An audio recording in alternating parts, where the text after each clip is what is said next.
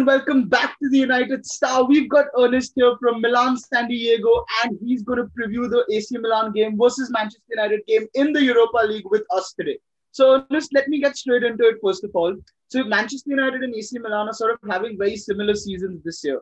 Uh, we're both second to our sort of city ri- rivals. We're uh, sort of not close enough to challenge for the title anymore, but we're having maybe you can say better seasons than we expected before the season kicked off. So, what do you make of Milan season till now, and how happy are you, or are you disappointed with certain aspects of it?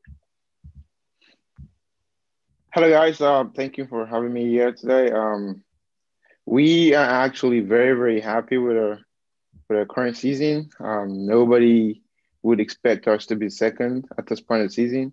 Uh, so um, all Milan fans are kind of like um, a little bit sad because we, you know, gave up the first part to Inter Milan. But um, so far, it's been a great season. Right, right, absolutely. You know, Priyan, I could say the same thing for United as well. No one expected us to be second. The entire debate was around Liverpool and City, but we led the season for a brief period. Well, we were never in the title race for my mind anyway. But uh, yesterday we spoke about it after the Man City game that in the last 22 Premier League games, we've lost only one.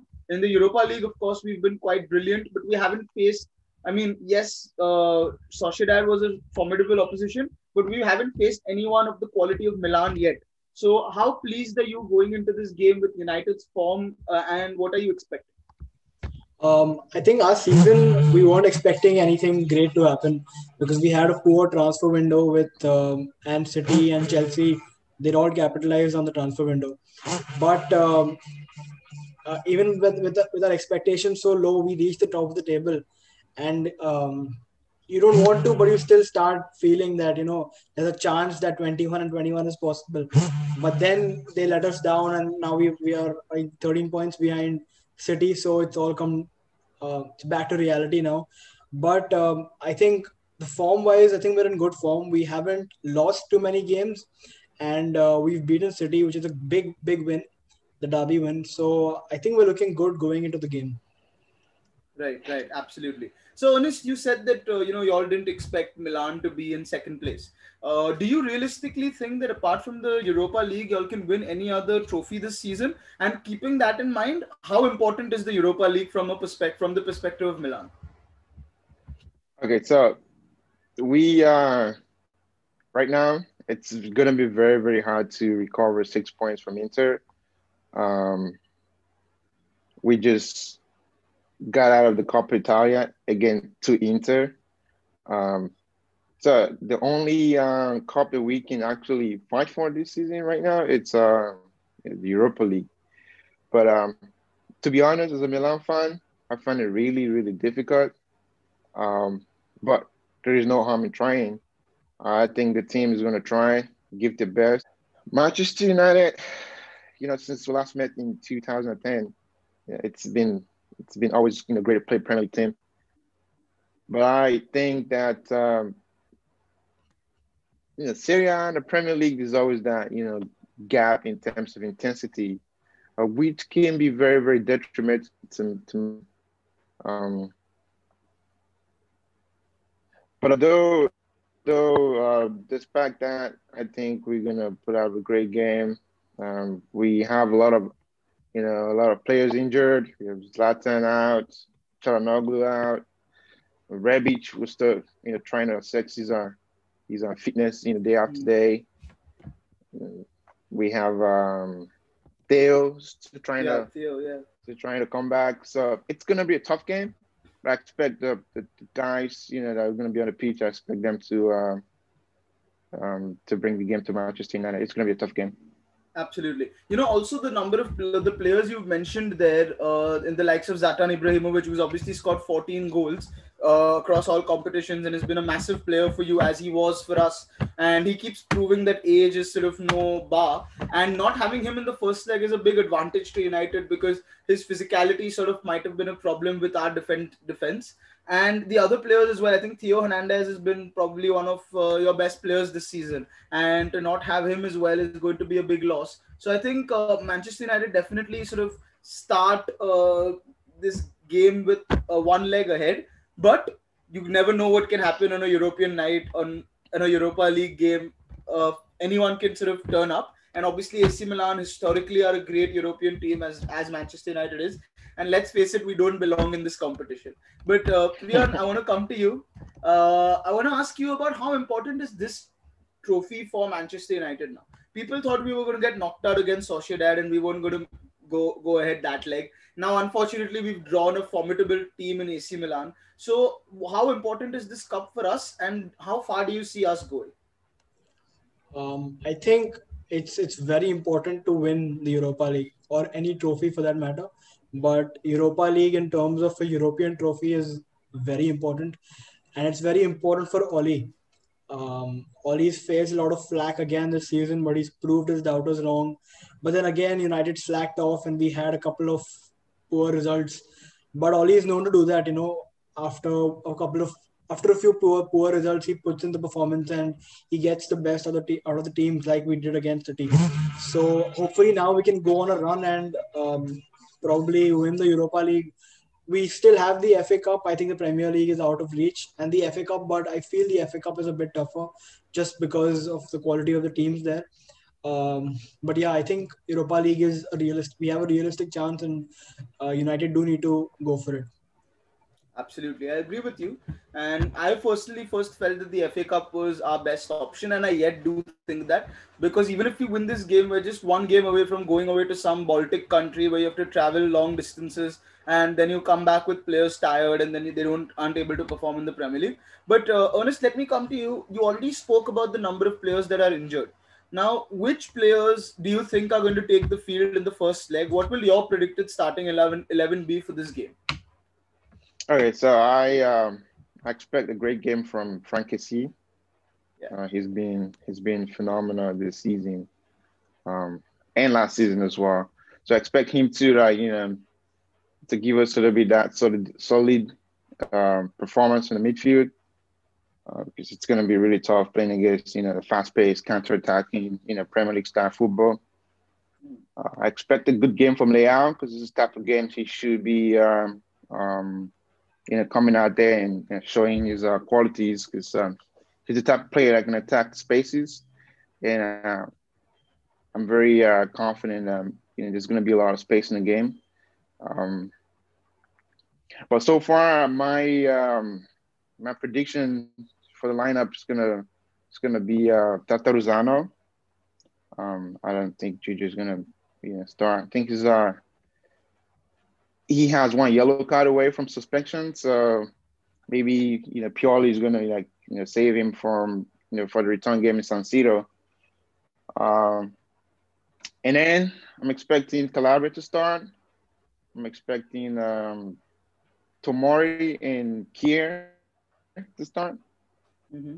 But I don't know. I don't know how well that's going to go. Maybe um, Romagnoli or because we we have a rotation right now at the back. So mm-hmm. I expect Kjaer and Tomori to start, and then Theo if he recovers from the knock. But mm-hmm. um, so far we're just gonna see how that goes. But so far, um, Dalot should be starting. And yeah, I was just gonna ask you, do you think Dalot will start against United? Yeah, because uh, it, uh, that would be a great chance to play against his uh, parent team uh, to show his uh, qualities that uh, that he stayed there. Great goal, by the way, during the the yeah. Verona Milan game. I wasn't expecting yeah. that for him based on his performance recently, but and in the midfield, I'm expecting um, Kessie and uh, Meite to start. Okay. Kessie and Meite. And uh, up front, we're expecting Samu Castillejo, Krunic, and uh, Saelemaekers. Right, right. And then Leao up front creating problems. Right, right, right. So obviously, uh, so uh, Sandro Tonali is injured as well. Are you not expecting him to play?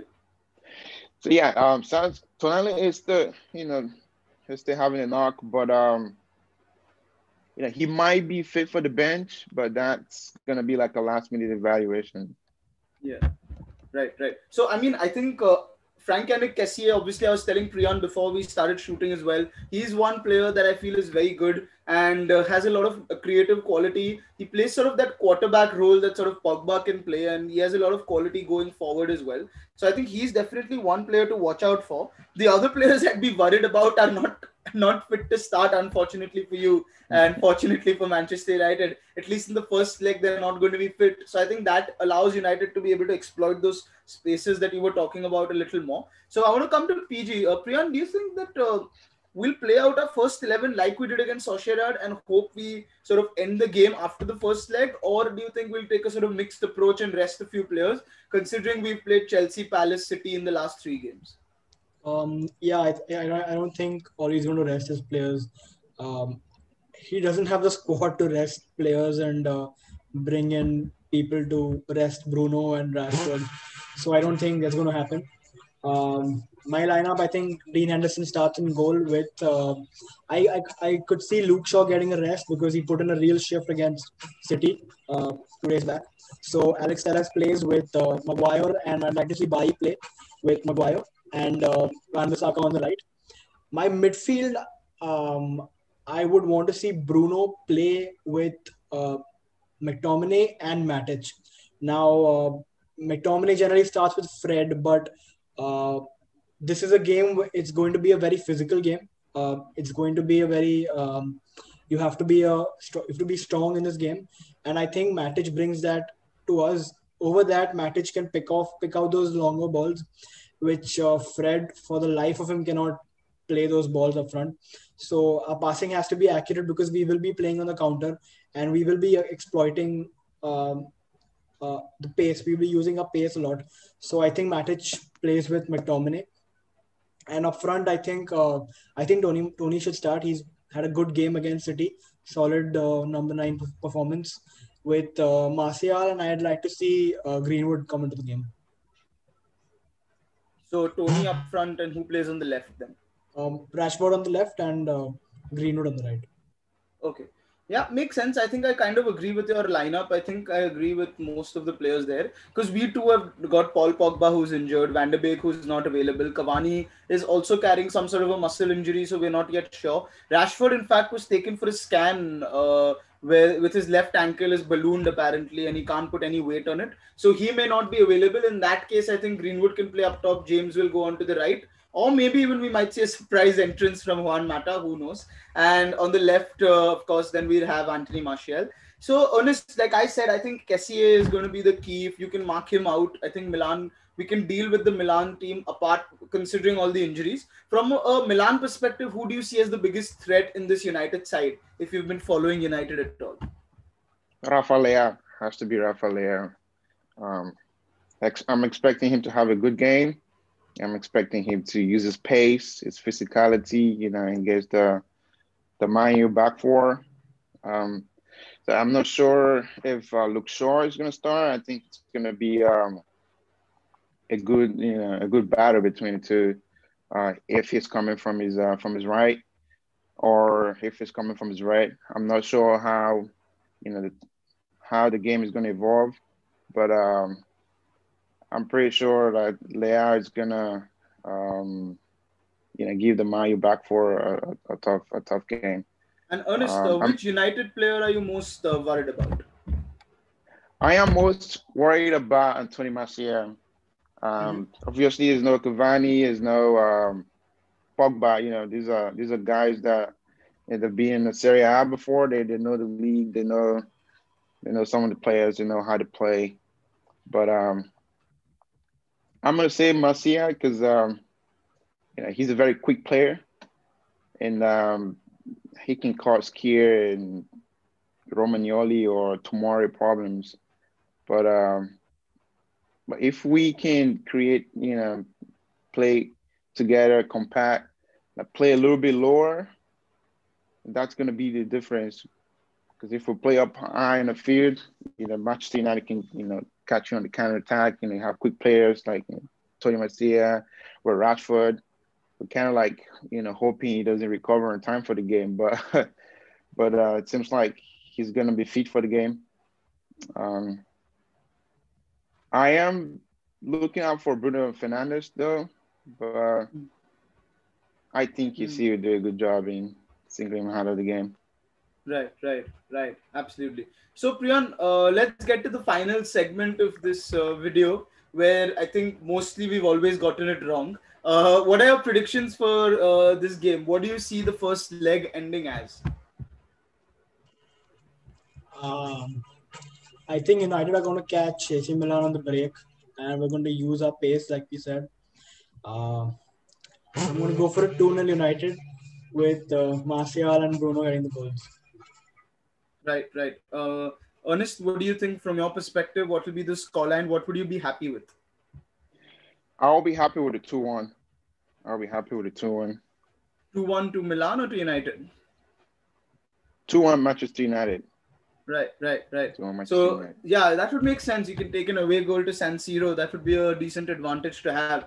So, uh, guys, my prediction is that uh, United will win this game 3-1. I think uh, we will concede. I think uh, the likes of Kessie and uh, Leao is going to like uh, is definitely going to trouble us with their creativity and pace. So let's see what happens, guys thanks ernest for coming on. Do check out uh, milan san diego. It's a great page there. They're putting out content. If you're a milan fan they're putting out very regular content with match updates and what's going on there. So do check it out. The link is in the description. Thanks priyan as always for coming along. And subscribe to our channel if you're new here.